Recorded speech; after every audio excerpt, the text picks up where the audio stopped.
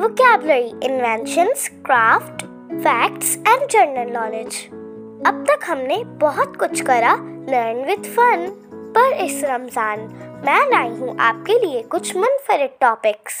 जो लाएँगे हमें हमारे इस्लाम और हमारे कुरान के और नज़दीक